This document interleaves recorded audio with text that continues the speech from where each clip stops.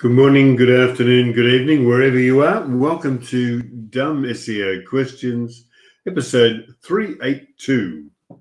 Um, each week yeah, we meet here to answer the questions asked on the uh, uh, SEO Questions, uh, Dumb SEO Questions uh, community on uh, uh, Facebook.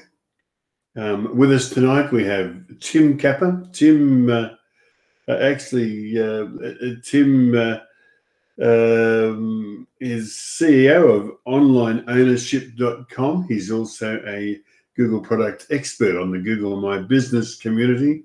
We're lucky we have him here. And um, we have um, seven or six questions to cover tonight. Let's um, have a look at them. Um, the first one is from Kanjul Chorwin. Um, question one, it's crawl depth to the important of important pages of one or two instead of four. I have no idea what he means.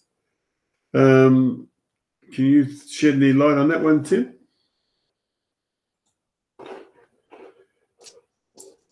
Well, the general the general thing that a lot of tools say is, you know, if your crawl depth is like over over three, I think, or takes, uh, or if it takes you know, more than three clicks to get to something, then it's not ideal. Um, I think, you know, it, some massive sites unfortunately can't, you know, uh, prevent this.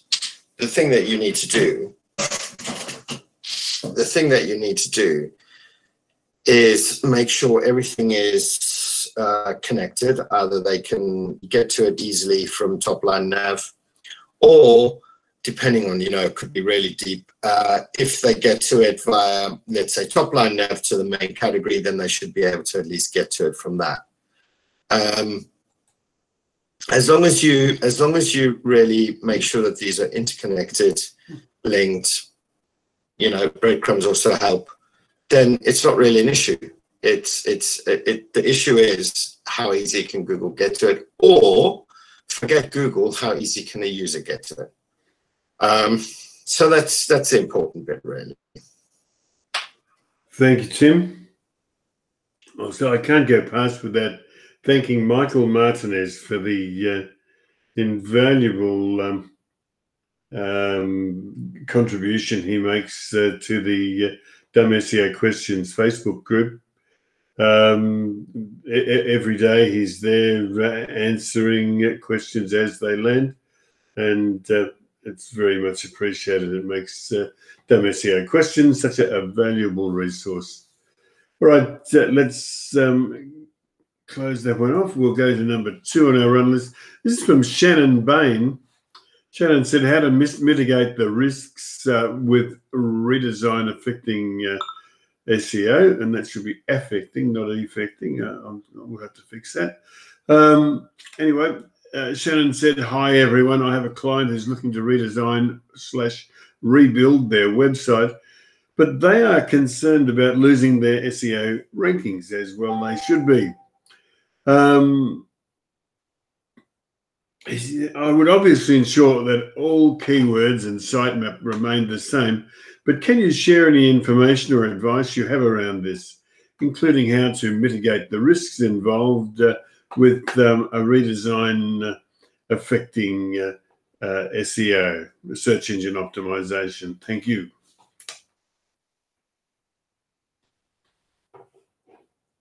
I think you answered this um, on on on the on the site, Tim, on the on the group. Did?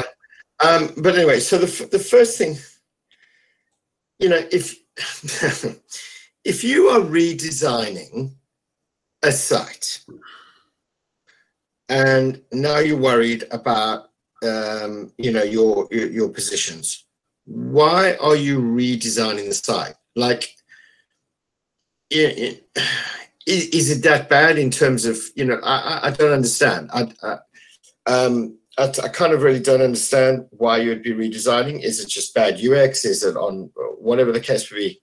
Anyway, typically redesign sites is is is for better you know, better SEO normally. But anyway, okay. So the things that I would do, um, if so, the th- so the things that I would certainly make sure on is that the content on the content on the page doesn't typically change, you know, as, as such. You're not going to radically change it for the matching URL. So if it's forward slash pink fluffy elephants and uh, the new site is forward slash pink fluffy elephants, great. You know, you've got matching URLs that those don't need to be don't need to be sort of 301 redirected or mapped. But if your content on one is drastically changing, um, then you know you need to look at that and be aware that you know that may potentially affect it.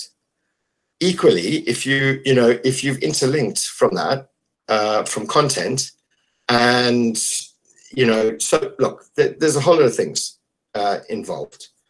Basically, map any changes to your URLs. If you don't want any positions to change, you know you need to be very mindful of what content you're changing. If you are changing URLs, map those URLs for 301 redirects, okay? And of course, if you are interlinking from any content within the site, which you should be, you need to make sure that those redirects are followed also direct. You don't want the 301 redirect. So if you've got a guide on there about how to dress pink fluffy elephants, um, which is linking to your pink fluffy elephant page, but that is actually changing there's a 301 redirect involved, you need to go through and make sure that those are changed to the direct URL, not let the 301 take care of that, right? So there's there's all those things, but it tends to be like, but tend to be if you look at your content and making sure that all redirects uh, are properly managed um, and interlinking through the site. Um, that would probably be my main my main cause cause of issues you know, and you can't expect, and you can't say to, you know, if, for example, you had some, you, you know, you had some good structure and good content on the old site for Pink Fluffy Elephants on that page, and the new one, they are designing it with more image based and they've removed a chunk of text, you know, a chunk of the content, it, that, that may certainly affect it. Thanks, Tim. All right. Okay, let's move on to number three.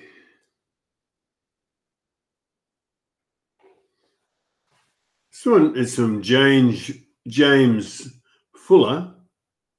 Um, he said Google can't see my redirect. We've we've moved our website to a new domain. Our server is using cPanel, and I used the built-in utility to redirect the old domain to the new. I'm not sure exactly sure how that works. Um, the pages are redirecting for the user, but when I try to perform an address change uh, in the Google Search Console, I, I, get an error that Google can't fetch the page on my old domain. Likewise, it is not allowing the address change. Um, he said, I don't know, understand why Google wants to fetch the page from the old website uh, since it is being discontinued. I've removed the website from the old domain and it now just contains the htaccess file and the Google ident identification files to prove ownership. Should I have left the old website intact? Is there something else I am missing? The, the old website is Jimmy Marvel kidsmagician.co.nz and the new website is kidsmagician.co.nz. We normally wouldn't want to change our domain, but the new domain is so much more SEO friendly that we decided it would be worth any temporary setbacks. Um,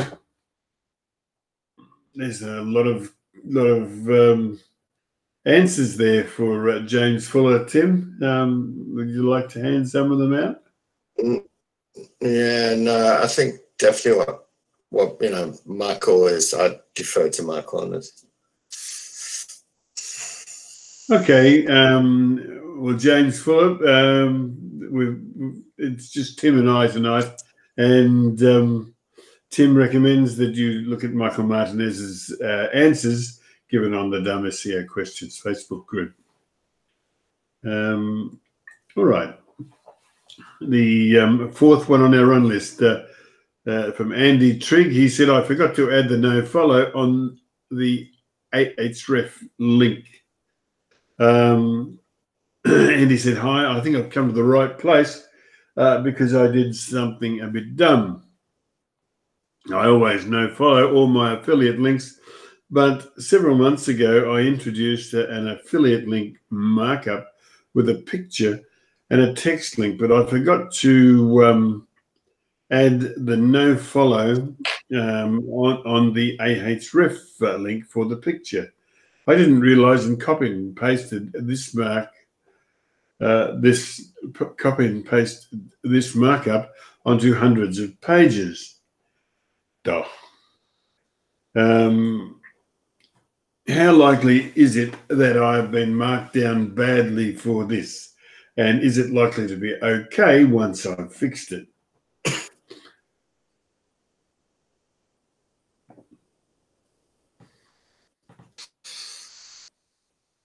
Um, I, I, I, honestly don't see the problem with you as an affiliate marketer linking to to the product. Um, you know that, that that's what would be expected. Google doesn't sort of penalize affiliate marketers. Um, um, well, it could always correct the issue, but you know Google is going to see that anyway. Um, even if it's no follow, they still follow. They just don't pass a signal across. Um,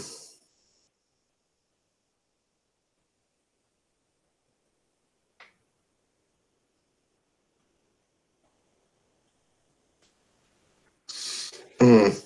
Oh yeah. I mean, Michael. Michael again's got some good answers there. Yeah.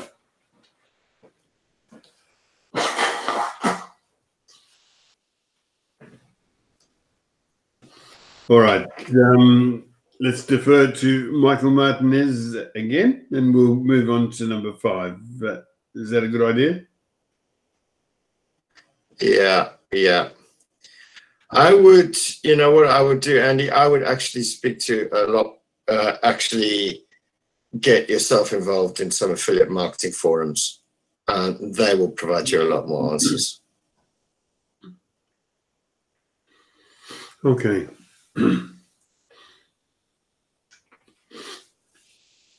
All right, number five on our run list is from Rodrigo Bueno, and um, it's titled SEO Standard Procedure for New Clients. Um, Rodrigo said, What is your standard procedure for new clients with hundreds of blog posts? Um, I don't know what he means. Well, if you've taken on a site, I mean, essentially you're going to work through the site first as agreed to whatever you agreed to with the client. If they've got hundreds of pages, um, yeah, they need to be looked at. You know, I would probably look at them at, at, at once you've done the main the, the, main site. But you know, I, I would probably be looked at. You know, um, probably you know a good a, a good way for you to start looking at them is analytics when last did any of them ever get any traffic. Um, also, you could just check what their positions are because there may not actually be any traffic associated with what the particular term was. Uh, then you need to manually look at them in terms of are they just thin and crappy, like um, the thing from the our Christmas closed hours from December 2012. Yeah, you can remove that now. You just delete it um, and and certainly work through and and you, you know what I mean, and, and certainly sort it out. Also, look for potential. Um, you, you, know, a, a, lot of these sites with with with um, tons and tons and tons of old copy, um, potential gold mines in there, which you can hit. Um, you know, you can just with a bit of jigging around, you can you can um, correct them and, and target a featured snippet with the content Um, so yeah, they're an absolute gold mine. Um, get in there and you, you got to start, you know, working out. Of course, and a lot of times, if they've taken on SEO now and they've never had one, they probably haven't actually interlinked very well. So there's there's there's a huge potential with them, but sort sort out your sites, your, the, the main site first, uh, and then start working through. And they're definitely a gold mine. Yeah.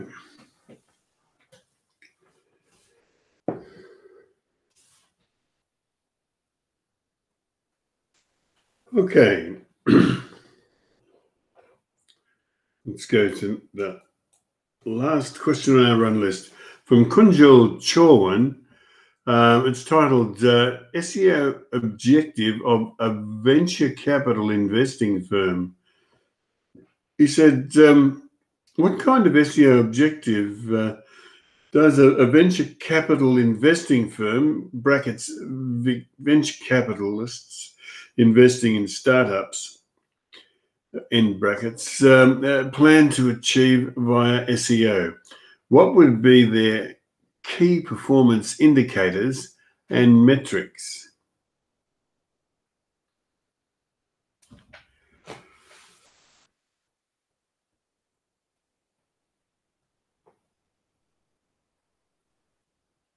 Yeah.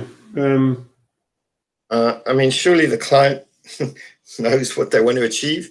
You can't, as an SEO, guess what they want to achieve. It's like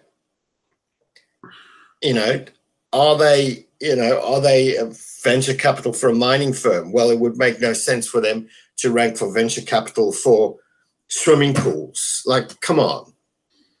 Surely they should know. Um, I mean, if anything, you know, countries like what countries are are they are they able to you know uh, uh, work with? Uh, I don't, you know, they should know what they want. Um, I mean, so it's venture capital for investing in startups. Well, it's not. It's going to be limited, isn't it? So at least there should be proper categorization on on on on what they're doing, what their minimum, what their minimum, you know, whatever buy-in investment potential, whatever they're looking at. Um, but they should certainly know. Um, and the other thing would probably be at least at least for them, I would say a lot of it would also be brand. So knowledge panels, um, um, yeah, like like just sheer branding on them, um, information on their main the owners, the investors, things like that. I suppose they probably got a little bit of an ego there. Um, yeah, so so a lot of kind of branding, brand branding um, around their name. I would say that they would want to be seeing also.